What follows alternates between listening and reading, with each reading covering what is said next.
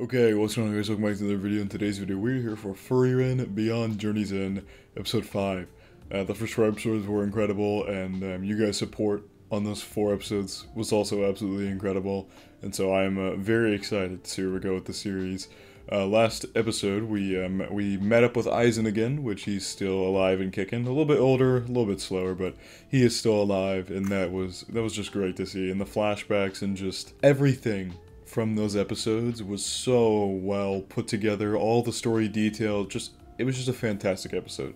Animation, storytelling, storyboarding, everything just came together perfectly and made a perfect stretch of four episodes. It was absolutely fantastic. And uh, Eisen's request to um, Frieren was to go to the land uh, that people call Heaven or Ariol, uh, Arioli, Ariol, however you pronounce it, uh, that Flam had written in her notes, and to go and speak to Himmel. Uh, however, that is where the current Demon King's castle is, and I said in my last episode, but I don't think we're going to get to that straight away. I think that that is going to be a long in the background like that is our main quest like if, if we're talking like in terms of like an rpg that is our main quest and along the way we're going to complete a bunch of side quests as well on our way to the main quest. I don't think we'll be getting to the main quest anytime soon, but uh, I could be proven wrong. Who knows? We shall see what ends up uh, happening there. But uh, I think in my mind it makes the most sense for the final quest to be to go and talk to Himmel, who she wished she would have gotten to know better and things like that. Uh, so yeah, I think that's all I wanted to say. So without further ado, let's hop straight into Frieren Beyond Journey's End, episode five. Okay, yeah. So we're right back here. Okay, so they're giving us a little recap. One thing I didn't really comment on, um... Oh.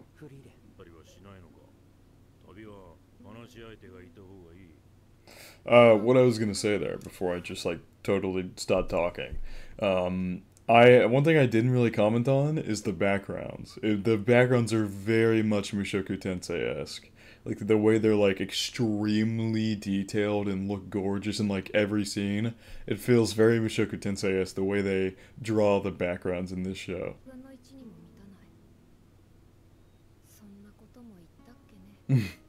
it did. That one one hundredth changed her. Yep. For her, this has been a short span of her life like a very short span, and yet she has changed so much already.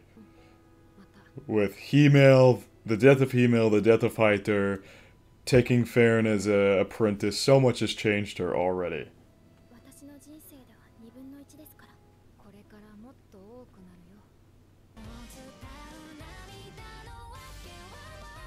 I love this OP. I know a lot of people have mixed opinions about it, saying it doesn't fit the show. I disagree, honestly. Maybe it's just because I'm a big YOASOBI fan that I'm a little biased, but I love this OP. It's fantastic. Phantoms of the Dead. That sounds ominous.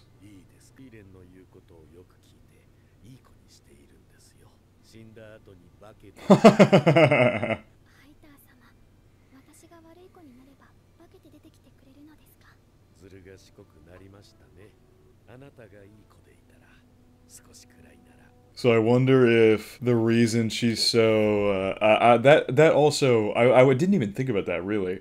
This journey also has influence for Farron too. It's not this is not just Frieren's journey. Frieren might be going to see Himmel, but Farron can also go see Heiter. Like she can go see him as well. So there is stakes in this journey for her too. It's not just following Frieren for 10 years anymore. It's I can also go see the like essentially my father. Like he was basically a father figure even though obviously she had parents before then. The way their relationship grew she essentially he essentially became like her father figure. Or she he, she could go see her actual parents either or if she goes on this journey with Frieren so there is definitely a pretty big reason for her to go here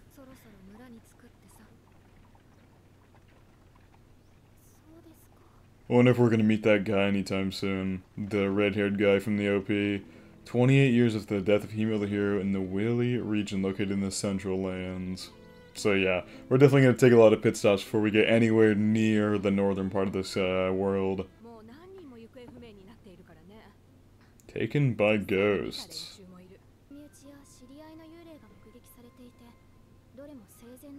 Interesting. Yeah, so seeing a ghost would not be an undead for sure. I love another thing, sorry.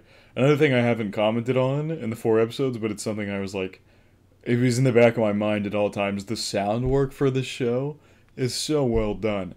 Like the just the sound of them walking up the um, stairs there sounded so real. It sounded like there was legitimate people walking up the stairs, and like just overall the sound work of this show is something that I haven't seen get praised enough, honestly. I think that they're doing a fantastic job with that. What kind of monster would bring back the ghosts of dead people?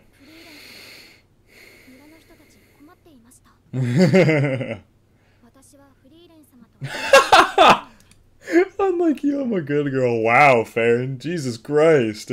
Taking shots here.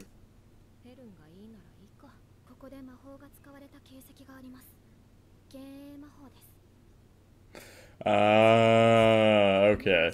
So maybe this monster like reads their minds or something and gets like a memory of a person from their past life and throws out an illusion of that person. So like freaks them out and makes them think there's a ghost, and then they maybe like kill kill the adventurers or the people who go up there, and that's why a bunch of people have gone missing. That would make sense. Yeah, that would do him. Einsam. Interesting diet there, only humans. I mean, come on. After the movie, so obviously they aired, the four episodes were aired as a movie, which, like, that's gonna have movie level quality because they had time to produce it as if it was a movie. But now we're just in the regular episodes, and the animation still looks as flawlessly gorgeous. Like, there hasn't even been, like, a big, like, battle scene or a big, like, animated scene. It's just the simple, movements of the characters and like these montage scenes of like them just jumping over these stones. And it looks so smooth. The character movements look so real. It's just a testament to how much effort and detail they really put into the show. Yeah you can just dispel the illusions really quickly.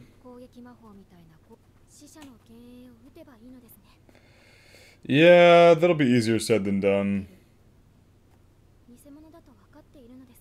Yeah what if they show you Heiter though or your parents? That's scary. That is actually very scary. They show you a ghost of someone from your life and have them like that is actually terrifying. That's I like being put in that situation. You could say like beforehand, like Farron is doing now, like I would shoot him. It's no problem. I know they're fake. But when you're put in that situation and you are face to face with somebody that you know is dead, but you really care about, like it would not be that simple. Yeah, we might be seeing it soon. Well, that was cool. We should just got out her staff like that. Ah, uh, yep, there you go. Shoot it. Uh-oh. Oh, no! Yeah, see? Oh my god, it's- oh, that's crazy. So yeah, they get some kind of memory from the person's life, because it's currently playing on that memory we saw earlier in the episode. This is, um, not ideal, honestly, because I don't know if Farron's gonna be able to do this. Because we literally saw her having a dream about the memory where he said that if she was a good girl, he would come to see her.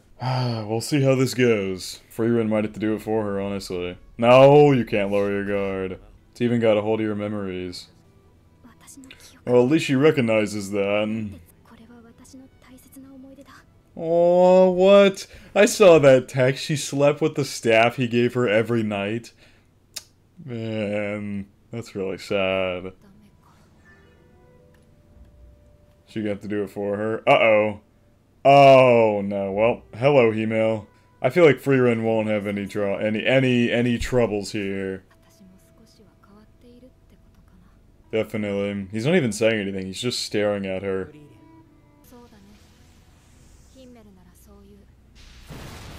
Holy! I was it necessary to use that much? Oh, yep. There you go. They've exposed it. That is a crazy villain, honestly. But that was interesting. I love how Farron's was like trying to tell her that like she's been a good girl and it was like hi to her, like complimenting her and stuff. But when it came to Frieren's, Himmel said, "Shoot me." It's like It's almost as if Himmel wouldn't let this what they call it? What, what did they call it again? Oh god, I've totally forgotten what they called it. Hang on, I'm gonna go back. Okay, the Einsam. Okay, I gotta, I gotta know. I feel like I was saying something, but then I went back to figure out what the thing was called, and um, now I forgot. Oh, I was talking about Himmel. Uh, I was, I was saying like Himmel wouldn't let the Einsam like corrupt him and try and Manipulate manipulate Freerunner. It's like it's like almost he was going against that because he immediately told her shoot me, and she was like, "That's something Himmel would say." Interesting, interesting. It's just like it's just like you said. You, even if you know it's a fake, even if you know at the bottom of your heart that it is a fake, it is not easy to shoot them. And it doesn't feel good after either. It's just a lingering effect of killing someone, of literally having to shoot somebody you loved at one point. Like, that's just how it is, and it makes total sense that it's like that as well. Oh, I like that. Let's go see the real Heiter, because obviously that's where they're headed. But uh, like I said, I feel like we've got a long ways till we get there. 28 years of the death of here in Regal Canyon. Ooh, dragons. Neither have we, in, at least not in this world. It's just got a grimoire in its nest. Oh god. Oh, oh, okay. I'm super high. Oh, let's go. Okay, it just clicked in my head. It took a second, but it just clicked in my head that we're gonna be getting a crazy action scene, and I am so ready for it. If they cut away from them killing this dragon, I'm gonna be upset. No way they're gonna take it out that easily. Welp, it just totally deflected her attack. And now it's awake. but she's hiding behind a tree. oh my god. That is um, pretty terrifying. Is she running for her life now? Yeah, she, oh, she's riding on her broom. she rode the hell out of there. Oh, but she's so casual about this.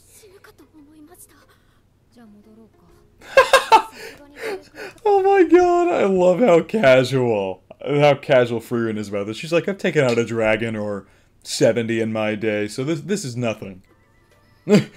She's too scared, she doesn't want to come back. Ah, yeah, this is where they meet the red-haired guy. Yep. I think I've heard that name too, after I watched the first four episodes. So I think that is the guy I'm thinking of. Oh! He's Eisen's apprentice. Well, looks like we're going to pick up this Stark fellow.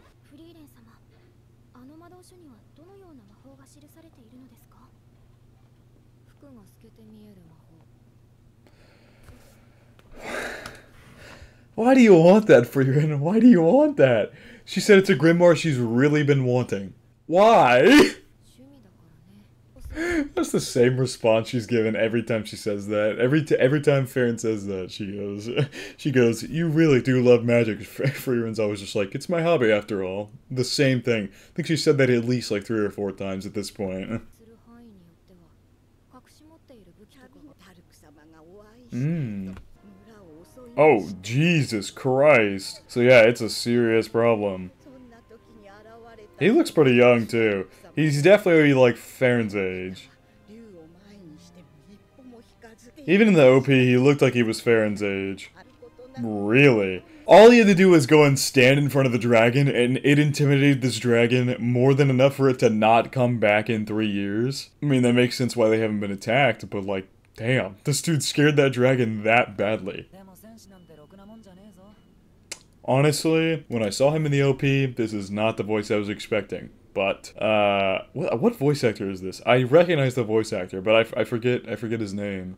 Damn. Okay, you guys are gonna have to remind me what the voice actor's name is, but this is definitely a very famous voice actor. I've heard it millions of times at this point. Oh, it's the same voice actor used for Yuichi from uh, Tomodachi game, and I'm pretty sure there's probably others as well. But the main one that I'm thinking of is Yuichi from Tomodachi game, which is the stark difference between those characters is kind of wild, honestly. You're talking to a person who's lived thousands of years.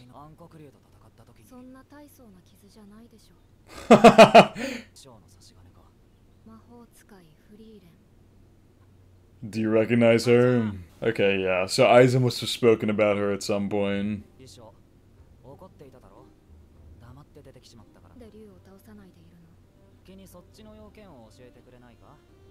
She wants the grimoire it has.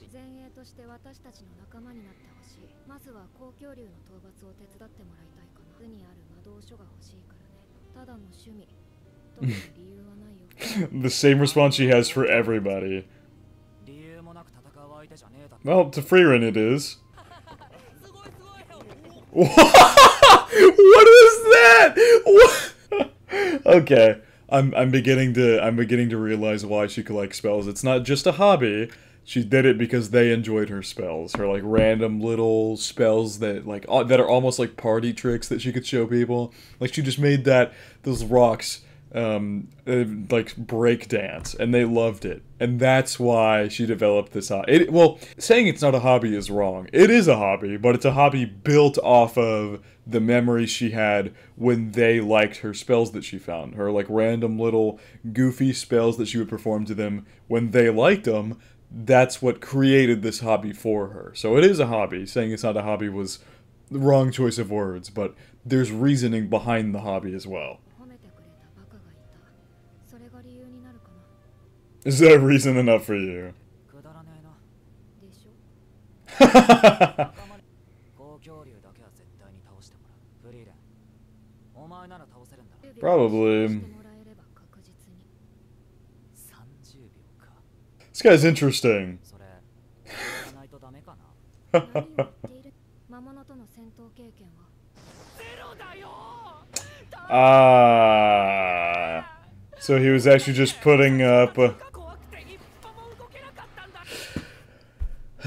I don't know how I didn't see it sooner. I don't know how I didn't see it pick it out sooner that he's just a total fraud.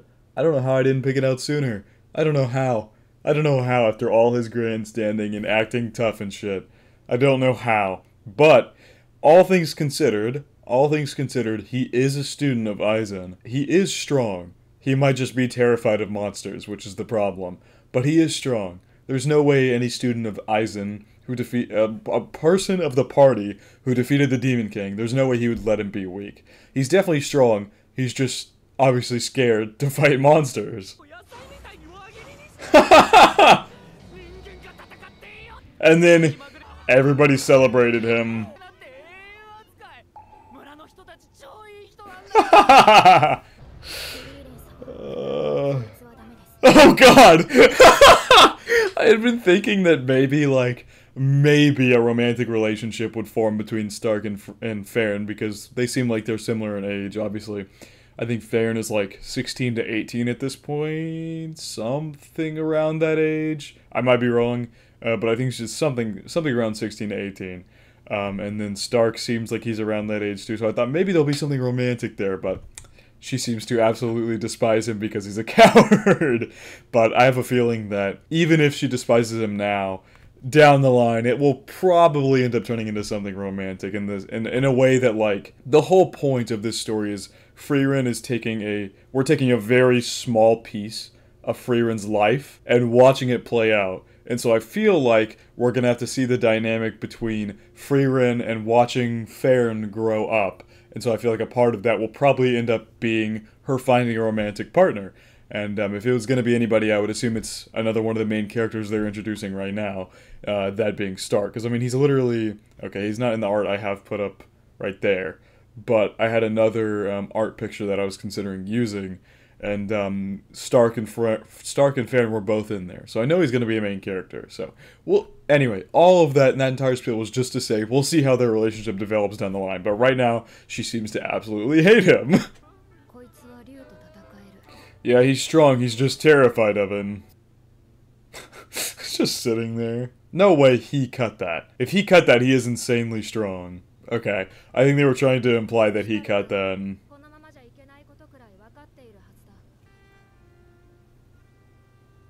I mean, to be to be fair, to be fair, I totally understand being nervous in this situation. Like you're going up against a literal dragon. I would probably be in Stark's shoes. I'd be terrified. Like Frieren and Farron have their fair share of like combat history. They literally fought like a de- a warrior from the Demon King's army. Like that's experience you can't get anywhere else. So Farron is obviously experienced, and Frieren has lived for forever. But for Stark, he's just someone who trained under Eisen and has no experience. So I can totally understand being absolutely terrified to go fight this.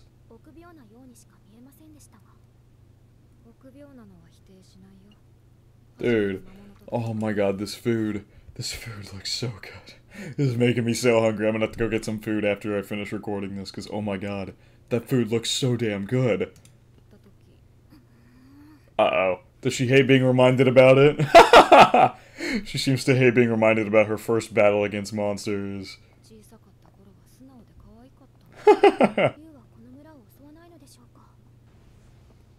or oh, is it back? What the hell was that?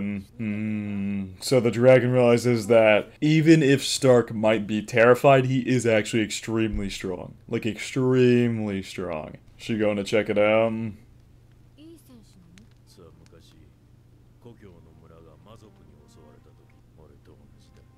Oh, that's why he trained him. He related to him. Interesting. Oh my god!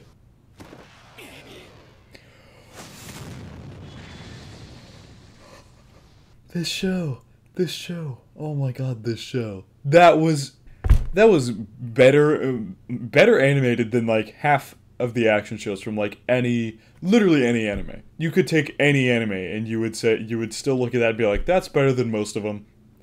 like, like what the hell? It's just so consistently amazing. Farron, yeah, yeah. This dude is a absolute beast. Okay, that was another great episode. This definitely felt like more of a build-up episode, which is not to say that it was bad in the slightest. This was another great episode. I loved the whole phantom scene.